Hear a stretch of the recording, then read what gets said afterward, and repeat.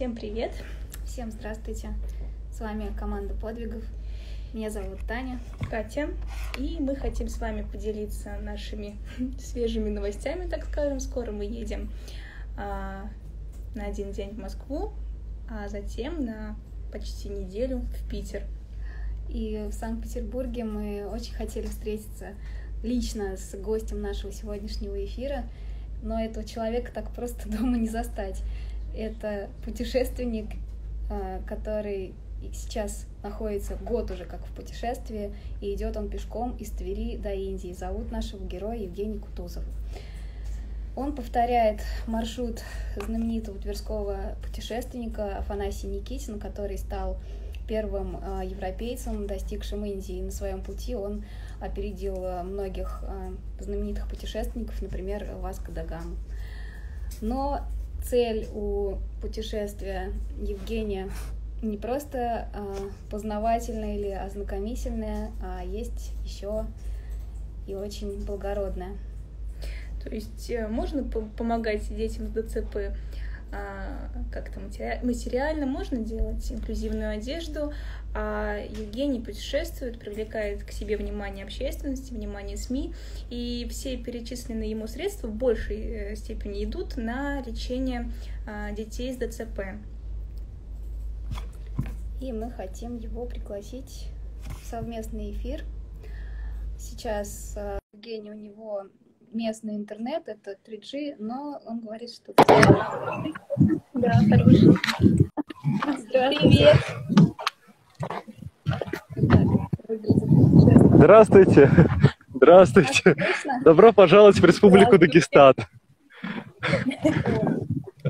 Здорово. Ну сейчас э, ты находишься в пути, и прямо сейчас у тебя идет уже путешествие, да? А, к сожалению, да, я не успел дойти до, до поселка, поэтому я сейчас в процессе как раз иду. А, сзади меня трасса, я чуть отошел в сторону от трассы, чтобы, чтобы было чуть потише. А так обычно иду вот как раз по, по левой стороне трассы. Еще раз всем привет. Здорово. Как э, пришла тебе такая идея? Путешествие. Ой, извините, повторите, пожалуйста, еще раз. Тут очень сильно дует ветер. Как пришла такая идея? А, так сложно сказать, я же уже больше года в пути. Но на самом деле, как сказать, э, это же не, не первое путешествие. То есть в 2018 году шел пешком от Петербурга до Кавказских гор Эльбруса. Вы про это тоже, по-моему, писали когда-то, я помню. Вот. А, я знаком лично с пешим, а, с пешим спортсменом, которого зовут Айда Сардияускас. Он пробегает огромные расстояния, то, тоже благотворительно. Ну, у него прям совсем невероятно, потому что он прям реально пробегает расстояние. Я прохожу, а он бегает, бегал из варягов в греки, бегал, бегал вокруг Балтийского моря. Вот мне понравилась эта идея, захотелось попробовать что-то подобное. Ну да, конечно, решиться на это очень, э, ну так, стрессово, мне кажется, очень страшно. Э, родные поддержали в этой идее?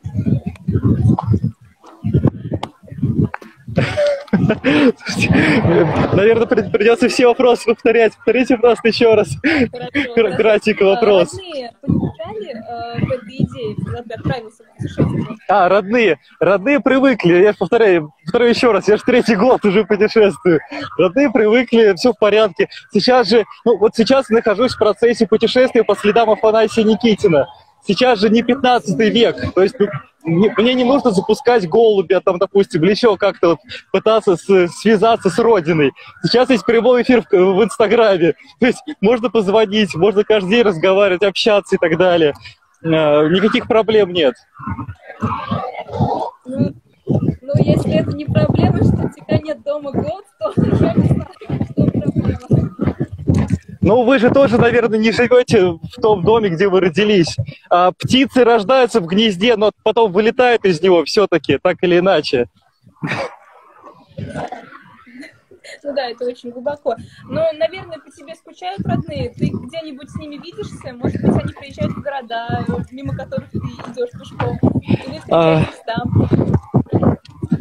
А, если, э, смотря о ком идет речь, а, как сказать, в процессе путешествия, в процессе уже то есть я вышел 5 июля прошлого года из Твери и в октябре дошел до Волгограда. Там повредил себе сильно правую ногу, остался зимовать, зимовал, пережил коронавирусную блокаду и там же, собственно, женился на прекрасной девушке, которую зовут Мария.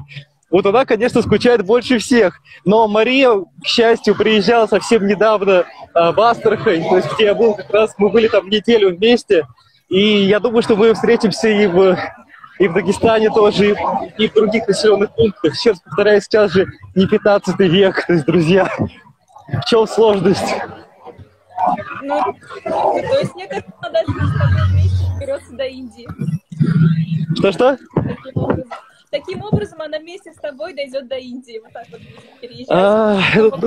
А, я понимаю, понимаю ваш позитивный настрой, но, к сожалению, все гораздо сложнее. Вы же понимаете, сейчас э, коронавирусная блокада, все страны перекрыты, даже, собственно, в России даже не все, э, не все открыты города. О чем, о чем можно говорить? Пока непонятно. И все прогнозируют вторую волну коронавируса, то есть вообще непонятно, что будет.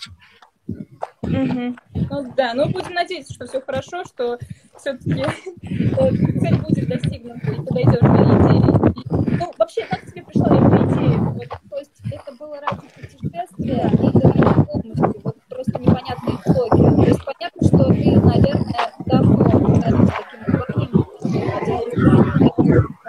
смотреть на какие-то достопримечательности, и э, так получилось, что ты пошел своего увлечения к или наоборот? Как вышло это? Ну, смотрите, тут очень важно, многие путают, э, очень важно правильно донести информацию. Я не являюсь фондом, я не являюсь представителем фонда и не являюсь фандрайзером. Я просто путешественник. Кроме того, я сам не собираю деньги для детей. То есть я, я не хожу там с сумкой или с пакетом или с шапкой по городам с просьбой «помогите». Такого не происходит. Я размещаю реквизиты родителей.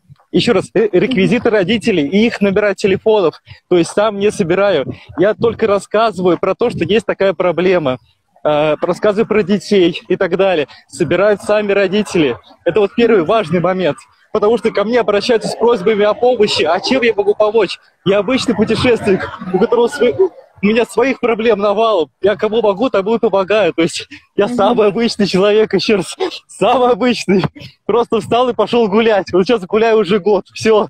Просто я уверен, что после вашего прямого эфира мне, мне в личку засыпется просьба о помощи. А чем я смогу помочь, друзья? Я могу помочь только как раз через вас, через средства массовой информации. То есть я рассказываю о проблемах, про детей. Сейчас вот это Тимур и Марьяма, дети, с которыми я лично знаком. Я рассказываю про них людям, рассказываю газетам и так далее. Потихоньку сумма собирается, только так я могу помочь. Я не являюсь скучающим миллионером, которому нечего делать. Э, я просто путешественник, у которого самого куча долгов. Это вот важный первый момент. И второй, почему так получилось? Ну, Сложно сказать, много-много причин. Первое – это как раз, да, желание помочь. То есть у нас э, после 2018 года остался ребенок Вадим, которому требовалась помощь срочно, не хватало на реабилитацию. А тогда, тогда пешая прогулка от Петербурга до Эльбруса вышла достаточно успешно. Мы собрали там, ну, 3 миллиона рублей в итоге всего. И а ему требовалась помощь очень срочно. Я решил пойти еще раз, но в этот, еще раз идти в сторону Эльбруса было бы глупо. Я выбрал другой маршрут. А там совпало тогда, что было два юбилея. Юбилей 550 э, лет самого путешествия Фанати Никитин, как он отправился из Твери в Индию. И, собственно, юбилей его книги 530 лет хождения за три моря. То есть два больших юбилея, красивые даты. Совпало так красиво. Плюс я всегда мечтал посетить Индию, пройти вдоль Волги, посетить Дагестан, Калмыкию. Вот сейчас вот в Дагестане нахожусь. Ага. Здорово. Ну вот э, скажи, пожалуйста, краткую историю Тимура и Марьям, которым как раз можно переводить э, помощь. Сколько им лет, а... с ними познакомился? Рассказать историю детей? А, смотрите, э, есть мальчик Тимур, у него детский церебральный паралич, он живет в Петербурге. Ему требуется реабилитация в Москве э, достаточно скоро, уже в сентябре, в первых числах. А, все реквизиты есть у меня на странице. В основном я пользуюсь э, социальной сетью ВКонтакте, там прям закрепленный пост непосредственно во всем этом. Но и в Инстаграме тоже есть. А, вот, в начале сентября реабилитации в Москве. Общая стоимость 120 тысяч рублей. Казалось бы, деньги небольшие, но ну как небольшие. Тимуру требуется реабилитация регулярно, потому что при этом заболевание желательно, чтобы реабилитации были регулярно, тогда будет большой успех. То есть мы уже вот в третий раз собираем. И есть прогресс большой. То есть как раз-таки благодаря помощи лю- людей у него есть шанс жить полноценной самостоятельной жизнью. А, вот, это Тимур. Есть девочка Марьям. Марьям из Астраханской области. Я с ней познакомился буквально в пути тоже в Астраханской области, когда проходил а, мимо, а, зашел в гости к ее родителям.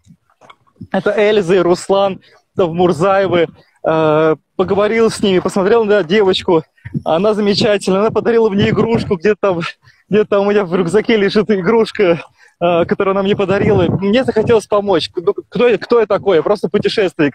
Опять-таки, я просто могу рассказывать об этой ситуации вот через вас. Спасибо вам огромное. Вот и все. То есть Марьям и, Марьям и Тимур, есть информация у меня, есть, реквизи... есть контакты родителей, даже телефоны родителей. То есть э, совсем не обязательно, чтобы вы мне доверяли. Я вообще этого не прошу.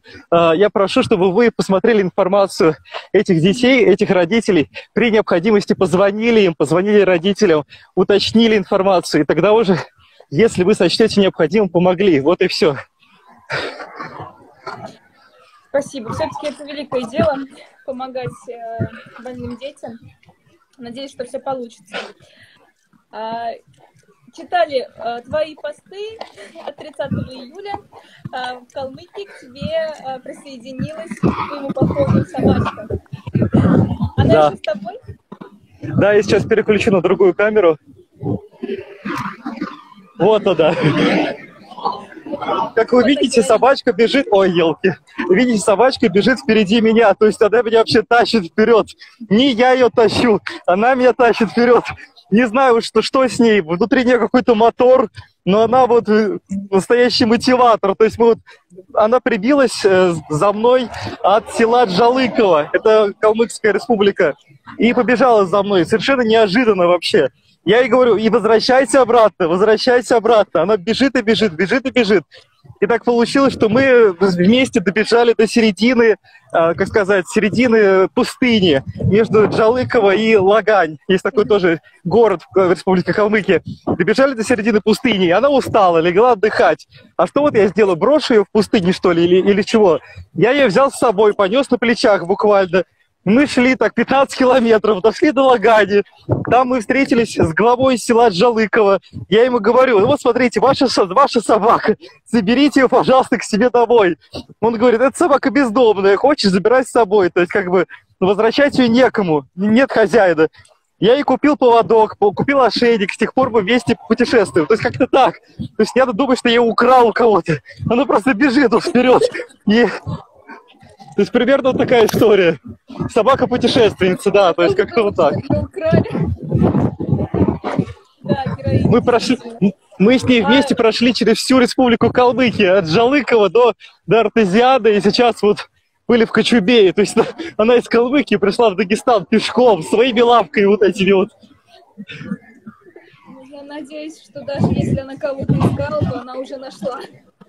Я даже тоже, я стараюсь за ней ухаживать, то есть у меня много корма. То есть не надо думать, что со мной путешествует еще куча людей, я один. Все мое путешествие – это путешествие одного человека. То есть я несу все на себе, как улитка. У меня с собой палатка, спальник, еще теперь 5 килограмм корма, вот это педигри для, для собачки. Uh, всякие витамины и так далее. То есть это все еще усилило и так большую тяжесть, но зато стало веселее, то есть тогда классно, и с ней, с ней интересно, я уже не одинок.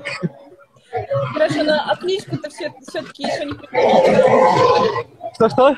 Как ее зовут? А, друзья, тут какая ситуация. Я все пытаюсь продвинуть эту историю, не знаю как. Я, я еще раз повторюсь, у нас параллельно идет сбор средств для детей.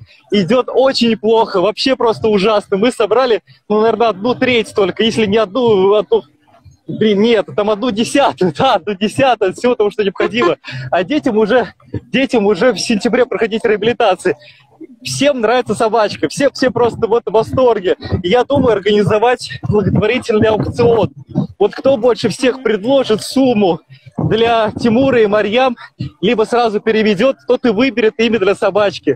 То есть, мне кажется, это будет очень честно, потому что все-таки мы здесь собрались не только поразвлекаться, посмотреть на то, как собака бегает, а чтобы детям помочь. Я не знаю, как еще привлечь внимание. Вот придумал такую идею с аукционом. Пожалуйста, если кто-то знает, как организовать такое мероприятие, помогите. Я путешествую один, у меня сил не хватает на все, и времени тоже. Есть такая идея. Понятно. Ну, надеюсь, ну, у вас все получится. Подписчики, Спасибо. 47 человек, которые нас сейчас смотрят, придумайте что-нибудь срочно. Спасибо, да. Ну а так я называю ее там, ну, девочка, де... пойдем со мной, девочка, Ми- там, милая моя, солнышко и так далее. Ну, много добрых слов и в русском языке, то есть как-то мы находим общий язык, нет, нет проблемы.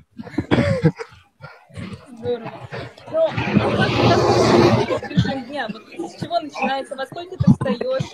Э, во сколько ложишься? Сколько километров в день проходишь? Да, немного.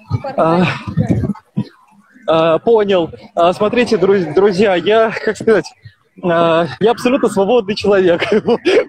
Я ни перед кем не отчитываюсь, у меня нет графика. То есть вот сколько смогу, столько и прошел. Здесь сейчас очень жарко было несколько дней. Прям невыносимо жарко. Как, как собачка вообще пе- пережила это, я себе, себе не представляю. Она до сих пор бежит впереди меня, вот своими маленькими четырьмя лапками бежит быстрее меня. А я страшно устал за это время. То есть проходим столько, сколько возможно. Нет какого-то вот лимита. Вы написали про 40 километров в день. Это не совсем так. Далеко не каждый день. Когда-то по 10, когда-то по 20, когда-то по 30. То есть как сможем. Еще раз повторюсь, нет, нет никакого лимита. Как получится. Встаю обычно очень рано, в 4 утра. Потому что в 5 надо уже выйти, потому что очень жарко. Пока, пока вот не жарко, надо идти дальше. Пытаться пройти максимальное расстояние, потому что потом будет пекло. Примерно так. А у тебя есть определенный план по как бы по дням, то есть к какому-то числу до- достичь определенного населенного пункта или нет? То есть свободно. А, нет, не... Да, свободное плавание абсолютно. У меня был раньше такой план, и из-за этого как раз я очень сильно пострадал. То есть, еще раз повторюсь, в прошлом году был перелом правой, правой стопы, стресс-перелом, именно потому что я куда-то спешил. Торопился, вот спешил куда-то. Зачем? Куда спешить и торопиться? Вот как могу, так и иду. Чувствую, что устал, отдыхаю. Вот. Поэтому нет четкого графика, как все происходит, так и происходит, торопиться некуда. Ну, единственное, конечно, хотелось бы успеть до второй волны коронавирусной блокады, успеть хоть пройти максимально далеко. Очень хочется посетить. э, опять-таки, тут снова, снова идейка. Э, Раз уж много людей в, в- в режиме онлайн. Смотрите, еще раз повторюсь, у нас большие сложности со сбором средств. А я сейчас неподалеку от республики, э, от республики, от Чеченской республики, совсем неподалеку. А как вы знаете, в Чеченской республике есть такой хороший человек, его зовут Рамзан Ахматович Кадыров. А кроме того, там есть фонд, фонд благотворительности. Ой-ой-ой. И мне хочется попытаться попросить помощи у Рамзана Ахматовича о сборе средств для Мариам и Тимура. Потому что я больше не знаю, к кому обратиться, к сожалению. Я очень надеюсь, что получится каким-то образом достучаться, и, может быть, Рамзан Ахматович нам поможет закрыть сбор как раз вот до сентября. То есть, ну сейчас, как раз сейчас я двигаюсь в сторону Чеченской Республики. Не знаю, пропустит или нет, там опять сейчас все перекрыто, опять из-за коронавируса. Посмотрим. А, прости, Такая история. Ты, а, вот тебя застал коронавирус э, в пути, да? А, а ты, ты был заблокирован? А, кор- коронавирусная история меня застала в Волгограде, как, как раз вот когда я зимовал, э, зимовал, лечил переломы, женился, вот как раз тогда был коронави- кор- коронавирус. Я же как раз собирался выйти в апреле этого года, именно как раз в начале апреля произошла вся эта история 26 марта, по-моему, в конце вот как раз. И, и- что? Вот как раз в тот момент я перестал что-либо планировать, потому что невозможно планировать что-либо в данный исторический период. Э, Перешел коронавирус, когда открылись там основные границы, я сдал тест на COVID-19 в Волгограде, пошел дальше до Астрахани. В Астрахани снова сдал тест на COVID-19. Э, ну, потому что я постоянно контактирую с людьми каждый день. И мне нужно быть уверенным, что я здоров, чист, никого не заражу. У меня с собой бумаги, вот эти результаты анализа на ковид. И, наверное, сейчас придется тоже еще раз сдать тест либо в Кизляре, либо на границе с Чечней, как-то так. Понятно. Ну вот не страшно тебе идти вот по этому безлюдию? Понятно, что ты сейчас собачка, что она поднимает настроение, Но вот ты же очень долго шел один. Не было у тебя какого-то страха? Хотелось все бросить и вернуться обратно? А, э, э, это сразу два вопроса. Вернуться хотелось каждый день. Каждый, каждое утро я просыпаюсь и думаю, боже мой, что я делаю, где нахожусь вообще, и зачем, зачем это вообще, кому это нужно? Вообще, что это за ерунда какая-то непонятная? А, это первый вопрос. А, а второй, второй вопрос как раз, не страшно ли мне? Конечно, страшно. Я же не, не, не дурак совсем уж, не отбитый. То есть мне, мне страшно но в основном меня пугают именно какие-то природные условия. То есть, например, вот совсем недавно здесь было, были тучи огромные. Здесь погода меняется очень быстро. И здесь как раз были тучи огромные, грозовые. А, и неизвестно, попадет ли в меня гроза или нет. То есть это страшно. Плюс в Калмыкии встречал а, диких, диких кабанов. Я подошел к озеру, было там небольшое озеро было, я подошел и думаю, надо бы искупаться, очень жарко. И вижу вдалеке черные тени такие, а тени двигаются, и это не тени, это, это пять черных кабанов. И я такой, да, интересно, конечно. И мы такие быстро-быстро с собачкой туда подальше, пока, пока кабаны не, не учуяли, что мы там гуляем, потому что вряд ли они будут очень гостеприимны, в отличие от людей. Ну, то есть, конечно, страшно, разные случаи бывают чувствуешь? Что-что? Вот мы писали, когда путешественник, который год потратил на то, чтобы летать в Владивосток, в Москву. И, ну, конечно, был более четкий план, ну, в смысле, что по времени было ограничено. И он в свое время даже отказался от палатки, потому что на это уходило время. И он всегда просился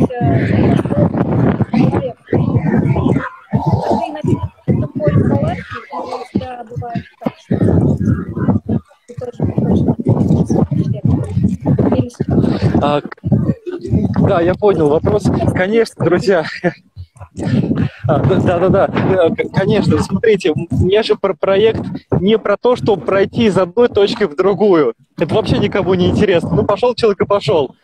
И задача проекта рассказать про города, про людей, то есть самое драгоценное, что есть в каждом населенном пункте, это люди. И я стараюсь постоянно о них рассказывать. Каждый день новые посты про самых разных обычных людей, местных жителей, которые принимают меня в гости, которые помогают водой, едой, там, не знаю, добрым словом. Именно люди являются краеугольным камнем всего проекта.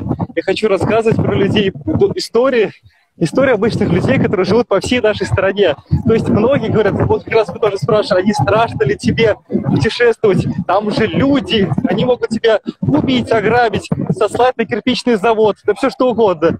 Слушайте, конечно, это все возможно, но я встречаю в пути только позитивно настроенных людей, очень добрых, которые всегда мне помогают во всем. То есть я безумно им благодарен, и мне хочется про них рассказывать, про людей, про интересные моменты, про, про поселки, про села, про, про города, которые удивительные, в которых я бы никогда не побывал, если бы не это путешествие.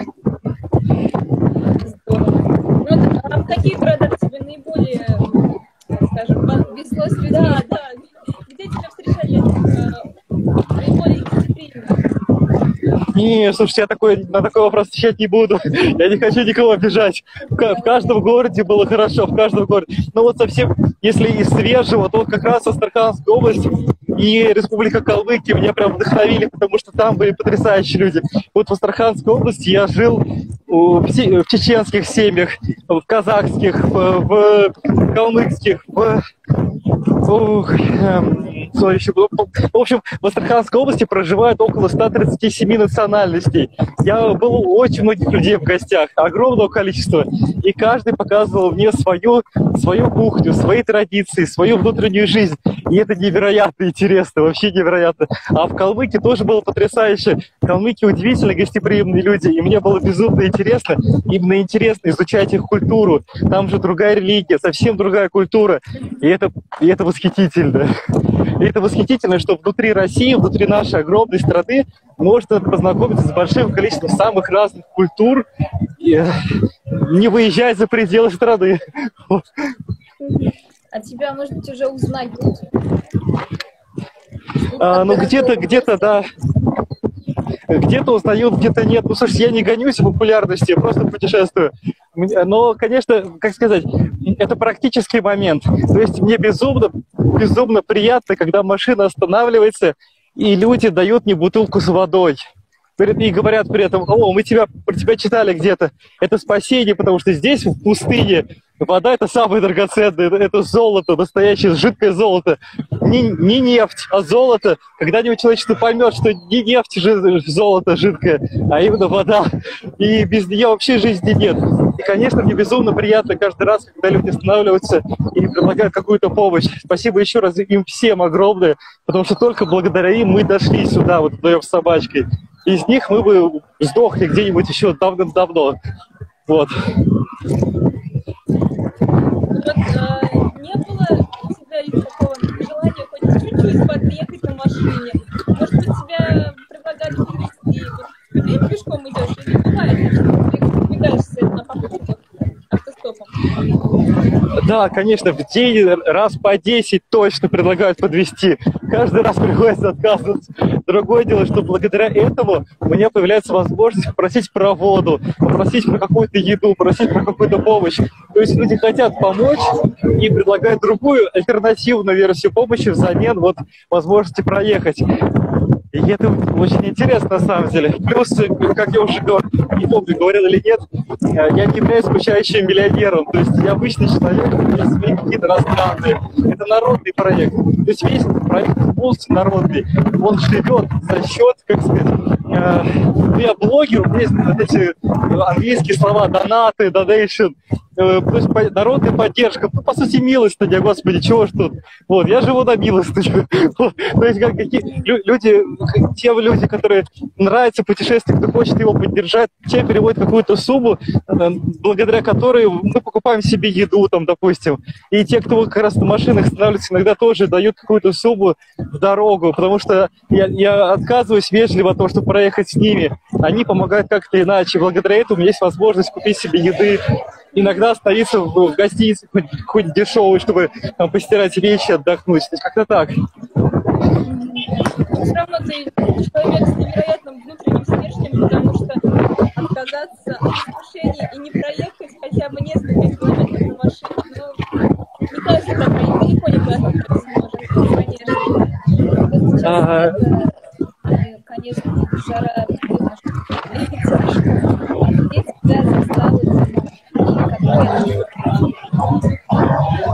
вы понимаете, это уже не совсем такое искушение, скажем так. На самом деле это уже такое внутреннее удовольствие. То есть каждый раз, когда ты отказываешься от, от того, чтобы проехать, ты немножко, чуть-чуть побеждаешь себя, чуть-чуть. Чуть-чуть побеждаешь себя и идешь дальше. То есть свои слабости какие-то, свои э, какие-то внутренние, внутренние слабые стороны. Ты их побеждаешь и идешь дальше. Тут пишет, нужен головной убор. Конечно, нужен. Он у меня есть, я его специально снял для эфира, потому что так делать надо телевидение. Я раньше стажировался на телевидении, поэтому стараюсь делать именно так. Что у вас в рюкзаке пишет? У меня примерно 15 килограмм рюкзак. Из них 3, 3 килограмма это вода, 3 литра воды побольше. Есть собака. И плюс есть палатка, есть спальник, есть документы там какие? Документы как раз от коронавируса, вот заявка, что я, я не болен. А, плюс э, загранпаспорт, просто паспорт, какое-то какое оборудование самое простое и так далее. Слушайте, у меня осталось меньше 5% заряда батареи, к сожалению. Даже не знаю, к какому вопросу перейти. В общем, понятно, что мысли повернуться назад сбежали, а все-таки двигаемся вперед. Ладно, не будем тратить на вашу зарядку, потому что это второй ценный ресурс после батареи. Да. А Ну, у, меня есть запасная батарея, сейчас буду заряжать как раз. Вот. И я почти дошел до, до села, куда шел. Осталось недалеко. Там будет, будет магазин, куплю себе еще воды. Жилья? А, ну, вот, э, ну вот 60 километров от, э, от, э, от Артези.